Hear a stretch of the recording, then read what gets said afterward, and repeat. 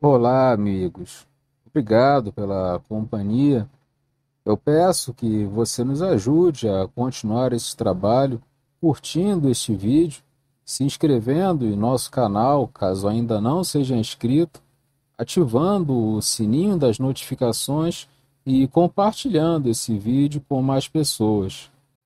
Desde já, eu lhe agradeço e, dito isto, vamos ao vídeo. O cangaceiro Pinhão era natural de Pernambuco.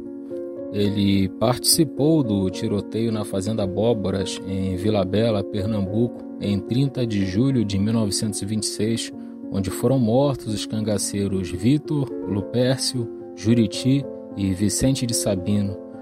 Participou do ataque à Fazenda Tapera, município de Vila Bela, quando foram massacradas 11 pessoas da família Gilo em 26 de agosto de 1926.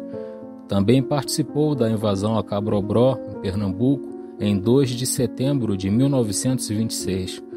Também estava presente no ataque à Vila de São Francisco, Pernambuco, em 23 de novembro de 1926.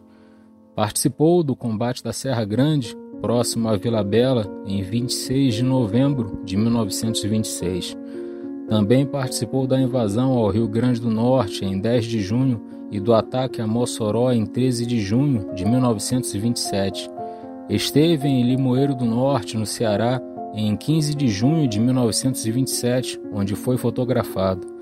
Abandonou o cangaço pouco tempo depois, rumando para o Maranhão.